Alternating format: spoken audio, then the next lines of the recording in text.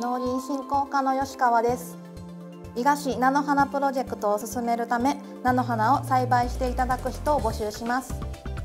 菜の花プロジェクトとは地域ブランドの価値向上と地域の活性化を目的に環境に優しい農業を実践し資源循環の輪を作ろうとする活動です。プロジェクトが目指す資源循環の輪はこのような形です。まず有給農地などを活用し菜の花を栽培します。一面の菜の花畑は美しい農村風景も作り出します。栽培した菜の花の菜種から油を絞り地域ブランド商品を開発生産します。このプロジェクトから生まれた菜種油は菜の花ブランドとして地域の特産品に育っています。使い終わった菜種油は回収して原料としバイオディーゼル燃料に生成します。バイオディーゼル燃料とは菜種油をはじめとした生物由来の油やその廃食油から作る燃料です。この燃料を使用することによって発生する二酸化炭素は大気中の二酸化炭素の総量に影響しないと言われていて環境に優しい燃料として注目されています。このバイオディーゼル燃料を軽油に代わる燃料として農業用トラクターなどで利用し菜の花を栽培します。こうして資源循環の輪が出来上がります。この菜の花プロジェクトの一環として菜の花の栽培面積を広げ有給農地を解消するため希望者に搾油用景観用の菜の花の種子を配布します。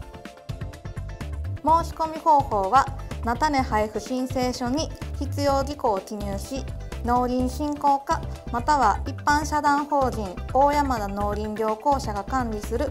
搾油施設菜の倉へ持参または郵送で提出してください。申請時には申請書別紙に栽培する古城の地名地番地目面積連作年数を記入し栽培補助の一度必ず添付してください。申請書は農林振興課に設置してあるほか市ホームページからもダウンロードできます。申し込み先と種子の配布場所は農林振興課郵便番号518-8501東市宿町3184番地。電話22-9713または作油施設ナノクラ郵便番号域404東高の2830番地電話51の5204までお願いいたします。申し込み期間は9月1日水曜日から30日木曜日までです。